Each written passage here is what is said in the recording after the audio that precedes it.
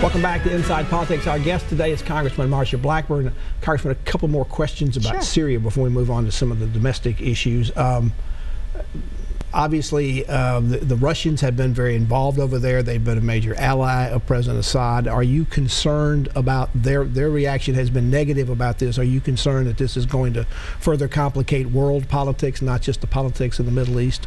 I, I think world politics are are complicated, and the But even more situation in the. Middle East is indeed complicated. I think that bringing some leadership that is uh, going to be firm and resolute and uh, stand for. Um, for wiping out these terrorist related organizations is something that is going to send a message. You mentioned earlier we do have some special forces units inside Syria right now. Are you comfortable that what the president is doing doesn't expose them to further danger, either from the Syrian forces or, for that matter, from the Russians, who have both military uh, they have military equipment over there and they also have military advisors there?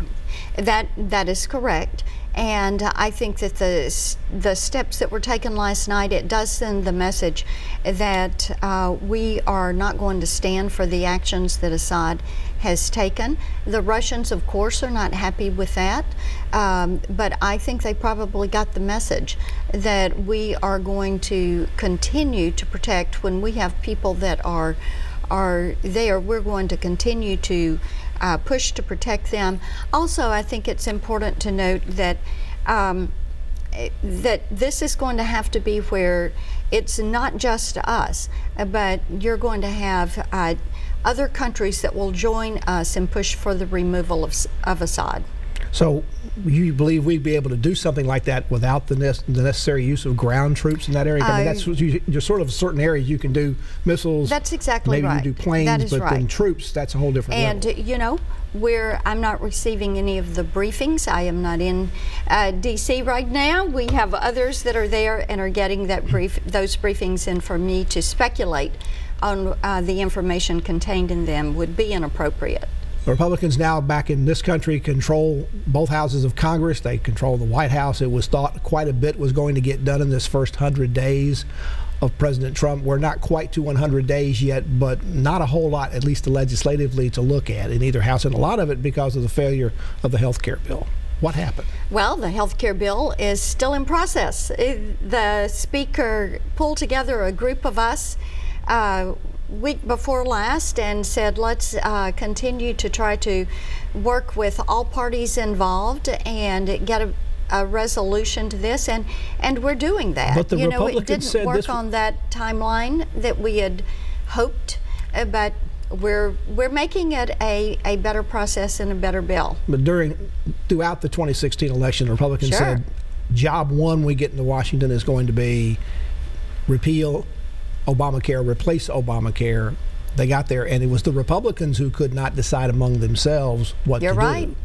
You're right, how- and- w- w- where was the disconnect? Uh, If you if, if that was job one, how come there hadn't been those conversations had before Those you got to the House conversations floor? have been taking place. As a matter of fact, you can go back to February 2010 with the Blair House Healthcare Summit, where the president uh, invited Democrats and Republicans to come and bring their ideas on health reform. I was one of the 10 Republicans invited. We accepted the president's invitation. We laid out uh, patient centered health care.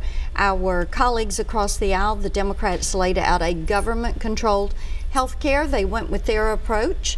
I think the only couple of ideas they took from us were pre existing conditions and coverage of children who were still in school. Our ideas have been there. How they come together and how you phase out Obamacare and get it off the books with the way the tentacles have spread and the 20,000 pages of regulations, yes. well, you the know, millions of people who have coverage now. well, That that is right. There are 9 million people, and 4.8 million of those individuals are in the Obamacare exchange because they lost their health insurance that they had been told by the president they would be able to keep, Your and they lost it. Your group is talking about how to make it work President Trump has taken to Twitter several times to attack the Freedom Caucus, the, Yeah. the conservative group in the House that did not go along with this. Is that a good strategy? Is telling people that they did something wrong now now shape up going to really make a difference? I would like to see the president tweet about the good things that we are doing because we've passed a lot of legislation in the House and we've rolled back a lot of regulations that are having an adverse impact on our constituents and on jobs and the economy. So we have we've gotten quite a bit done and we're going to continue to work on those things. Do you wish the president didn't tweet quite as much? It does seem he's cut back a bit to me over the last couple of weeks and months, but you're constantly being asked to have to defend what he says, and I'm sure you don't have any idea what he's going to say until you read it like everybody else, and that can get to be a little annoying sometimes. it? There are always things that the president is going to be tweeting. I have no doubt. I just uh, want to put more of that focus on the on the legislation that we're bringing forward and the things that we're getting done. In terms of what's happened with the health care bills, the president learning that the art of the deal in business is one thing, the art of passing legislation in Congress is a completely different animal, and he has to us to learn that. I think he's probably a little bit surprised and a little bit disappointed because the pace should have been faster. Uh, the House, uh, I would have loved for us to finish the bill. We're very close. And I think within uh, a couple of days of going back, you will see us with the bill back on the floor. We uh, came to an agreement on risk pools, and that amendment was added to the bill uh, just as we left DC on Thursday. So, um, my legislation or my amendment that would halt us and put a block in to keep states from adding to the Medicaid expansion. That was accepted onto the bill. The pro life language to um, put a one year moratorium on big abortion providers. That language is in the bill. We clarified the language around illegal aliens and their access of health care. I got that clarification done. We have two members who had worked one on um, doing block grants back to the states for health care, another on work requirements. All of that has been added to the bill. It makes it a better bill. Cuts a trillion dollars in taxes.